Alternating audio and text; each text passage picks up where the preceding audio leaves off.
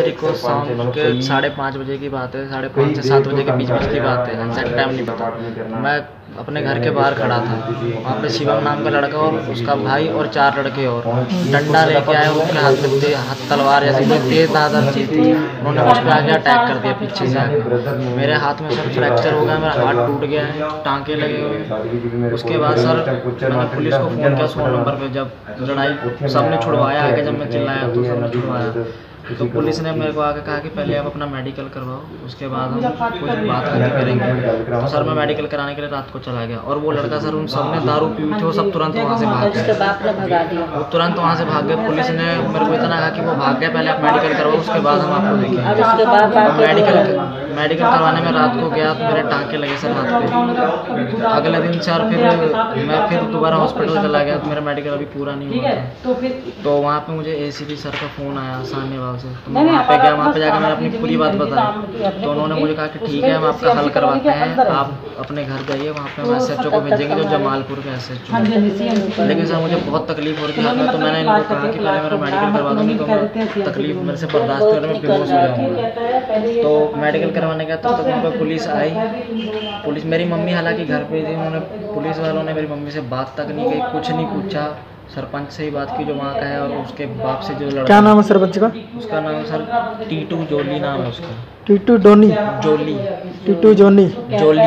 योली कितने साल से सरपंच है वो? ये चार साल से चार हम साल वहाँ पर बीस साल से। हैं ये चार साल से आया हुआ हम तो वहाँ पे बहुत पहले से रह रहे सर वो अभी तो लड़का सर मारते मारते मेरे को बार बार एक ही बात बोल रहा मैंने उसको कहा कि मैं अपनी दीदी को बुलाता हूँ तुम मुझे मार रहे हो तुम क्या सोचते हो मेरे पीछे कोई है नहीं। तो उसने मारते मारते मेरे को कहा कि तुम क्या सोचते हो? किस रंजिश को लेके हुआ था लड़ाई?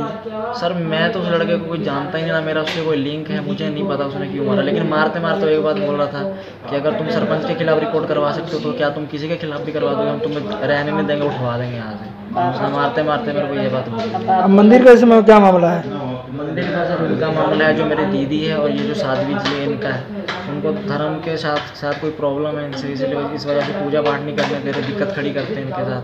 बस यही मामला है और तो कोई और मतलब हम उनके परिवार है इसीलिए कहता है उससे नहीं होगा। आप लोग कहाँ रहते हैं? भामिया में कहाँ रहते हैं? C M C. Colony sir सिमसी चौक के? C M C colony colony में? जी। कितने साल से रह रहे हैं यहाँ पे?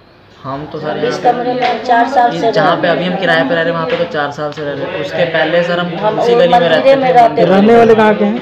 कौन सर? आप लोग रहने वाले कहाँ सर मैं बिहार का रहने वाला हूँ। हाँ बोलिए। दोबारा हाँ जी मेरा नाम साध्वी मीनाक्षी गिरी है। मैं जूना अखाड़े से हूँ और श्री महंत बाबा शक्ति गिरी जी से दीक्षित हूँ हिमाचल के हैं। उन्होंने समाधि ले ली है।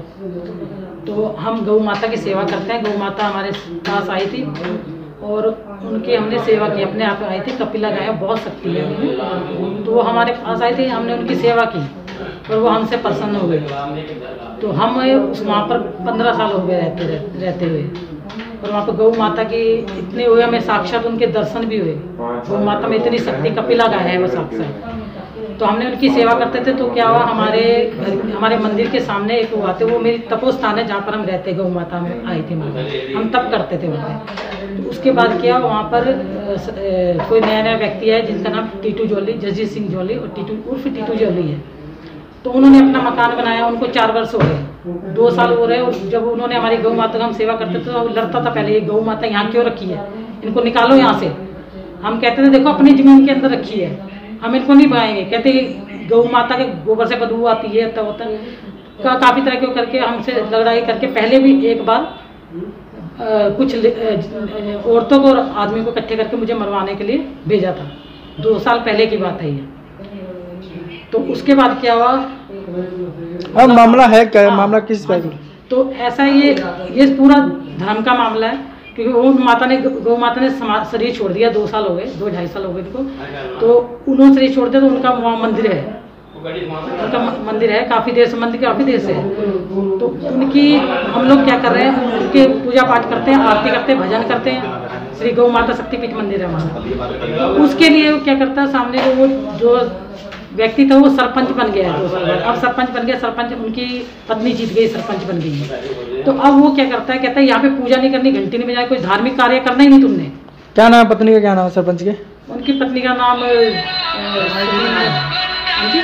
कमलजीत नाम है उनकी पत्नी। और सरपंच का जो घर वाला सरपंच का नाम है जो उनके सरपंच के घर वाले का नाम है जसजीत सिंह जोली उर्फ़ टीटू जोली। हाँ वो क्या कहते हैं? वो कहते हैं जी भी आप यहाँ पर पूजा पाठ नहीं करोगे घंटी नहीं हो जाओगे लॉकडाउन था जबकि हम पूजा पाठ करते थे कभी कई अकेले आके हम लोग को गालियाँ दे के चले जाता मंदिर के अंदर घुस के भी आरती बंद करो तुम घंटी बजा बजाते हो तुम आरती बंद करो।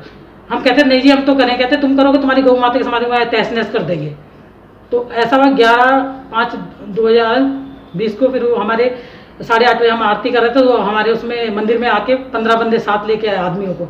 उन्होंने पी खा रखी थी और कह रहे तुम पूजा पाँच रोको नहीं तो हम तुम्हें मार देंगे जान से। अब पूरा मामला क्या है जो अब हमने डर के मारे रोक दिया जी। तो उसके बाद फिर हमने रिपोर्ट की रिपोर्ट के बाद फिर वो थोड़ा कौन से थाने में रिपोर्ट किया आपने? हमने रिपोर्ट जमालपुर थाने में की थी पहले तेरह तारीख को। ग्यारह तारीख को उन्होंने किया तो तेरह तारीख को हमने रिपोर्ट कर दी। फिर जमालपुर वाले पुलिस वाले उन्होंने रिपोर्ट पंजाबी में लिख ली क्या लिखा क्या क्या नहीं मुझे नहीं पता क्योंकि हमें पंजाबी आती नहीं है। तो हमने उनको सारी बात बता दी। तो उन्होंने क्या किया उन्होंने आकर चक्कर मार कर बस लड़ाई झगड़ा बनाने की कोशिश की और चले गए। उनके सामने भी उसने हमें गाली की बेइज्जती की सब कुछ किया कि हम धर्म का कार्य नहीं करेंगे। पुलिस वाले चुपचाप देख Palvinder Singh A S I आए थे चुपचाप वो लोग देख देख देख के हंस के चले गए। भाई का क्या आपका वो दिक्कत है? क्या किस अब दिक्कत ये है जी हमने जब रिपोर्ट कर दी थी उनको 25 पाँच दो हज़ार बीस को हमने रिपोर्ट कर दी थी।